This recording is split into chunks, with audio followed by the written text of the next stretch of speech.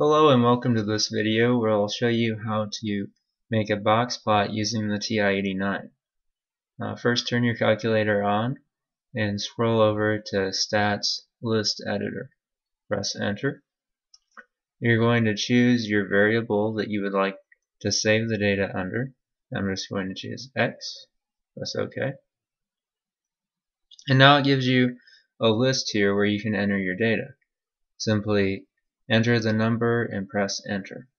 I'm going to pause the video and enter this data set here and come back. Okay, now all the data has been entered into the calculator. So I'll now press F2 and go to plot setup and press enter.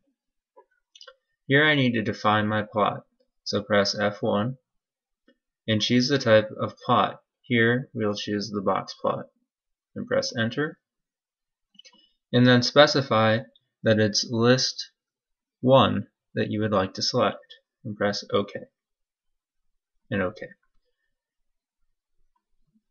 From here go to your green diamond key and Y equals scroll up to see the plot you just made green diamond key and F3 to graph and now we don't see anything that's because our zoom is not properly adjusted.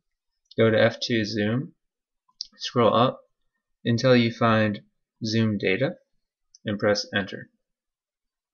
And here's your box plot for the top 20 movie titles.